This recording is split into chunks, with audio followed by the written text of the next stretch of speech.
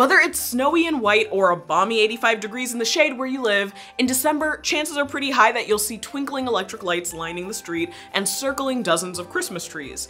And even if we're not celebrating the holiday ourselves, many of us enjoy basking in their comforting glow. But did you know that Thomas Edison is behind the invention of electrical Christmas lights and that he used his holiday breakthrough to promote the implementation of electricity across the country?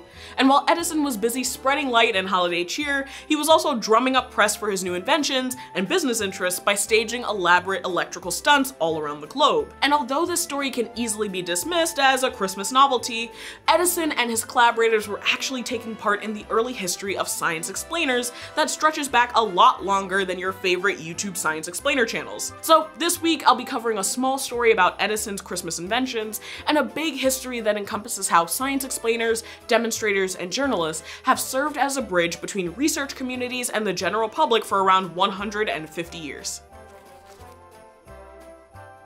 Well, to kick off this story, we have to start with how we got from Edison's electric light to explainer videos. The tradition of spreading cheer, joy, and light during December has antecedents in pagan tradition.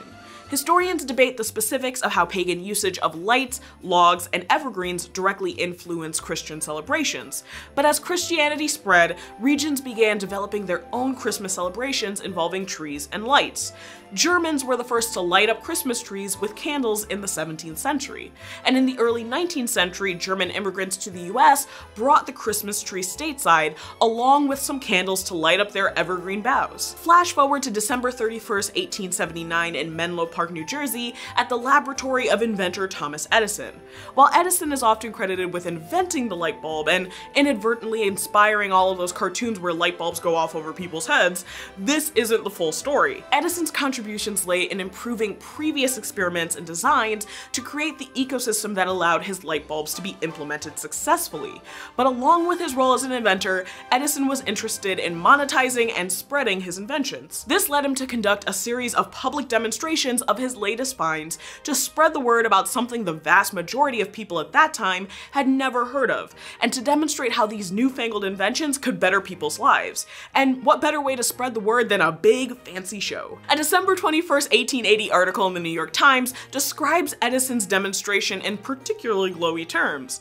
Darkness had settled down upon the bleak and uninviting place which Mr. Edison has chosen for his home, but the plank walk from the station to the laboratory was brilliantly lighted by a double row of electric lamps, which cast a soft and mellow light on all sides.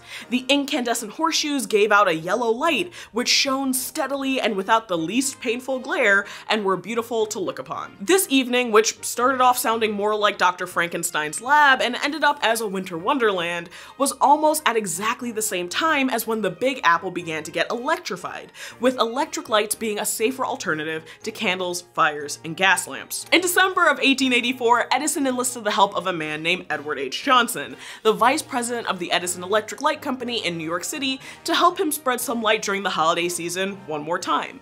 A reporter came to Johnson's New York City home, which was located in the first part of the Big Apple to get electricity, to show off a new wonder, electric Christmas tree lights. And so a new Christmas tradition was born, or really evolved out of an already existing one. But science explanation and demonstrations were well on their way to growing in popularity. But as interesting as the tagline, Edison invented Christmas lights sounds, it doesn't really get to the heart of a larger story about the late 19th century, technological innovation, and how Edison helped create explainer videos. Because Edison wasn't just busy lighting up walkways in December, he was hard at work during the end of the 19th and early 20th century becoming an international celebrity by cornering the market on not only new inventions, but also also the title of inventor.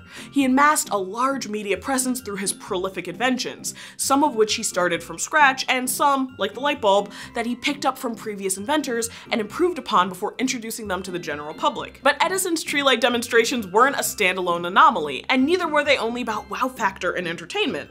According to Professor Bernard Lightman of York University, this was part of a trend in bringing new science to the general public in the late 19th century. In 1834, William Whewell even coined the word scientist to assign a catch-all expression for what he called the students of the knowledge of the material world. Lightman also notes how British science explainers, or journalists, writers, artists, and performers of the Victorian era were often tasked with translating these new inventions to the public. Science demonstrators and educators worked in different mediums, sometimes relying on detailed illustrations, other times focusing on newspaper articles or live performances.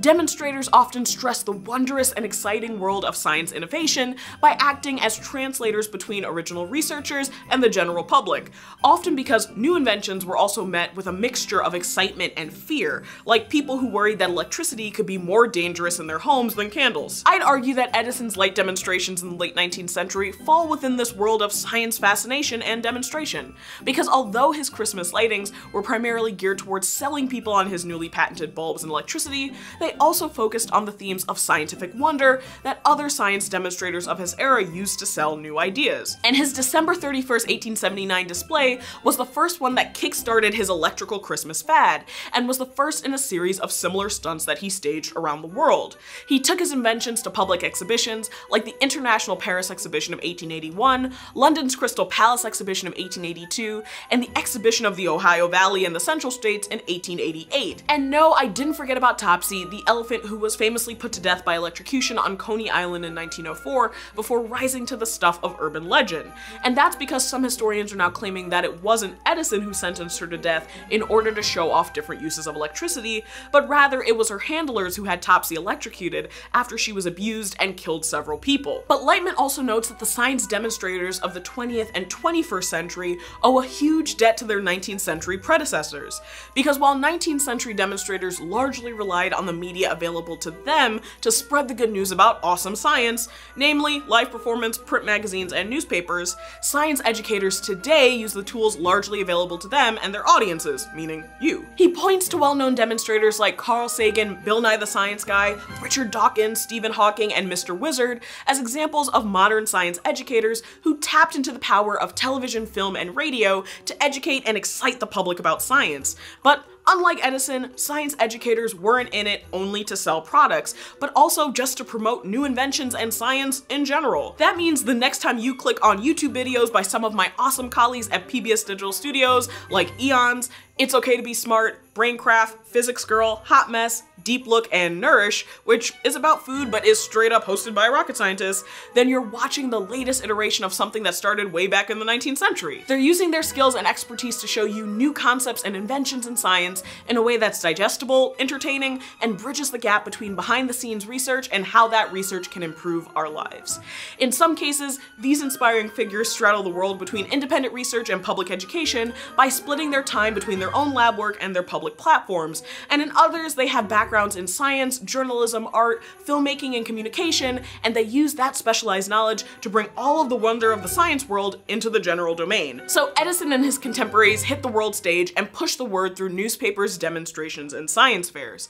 Bill Nye crashed in through our TV screens, and your favorite science edutubers picked up the baton today on your cell phones and laptops. So have you thanked a science educator today? So an attempt to spread the word about new tech and science helped inspire some of our favorite holiday decorations and our favorite science explainer videos. And it also gives us insight into why watching someone teach us about physics or how to properly prepare homemade slime on YouTube is so addictive and exciting, because humans are naturally curious, and science taps into that sense of magic that brings out the geek in all of us. So what do you think? Want to give some props and shout outs to your favorite science educators online? Drop those comments and questions down below, and if you have a cool science channel in mind, then share it so that we can all nerd out together for the holidays.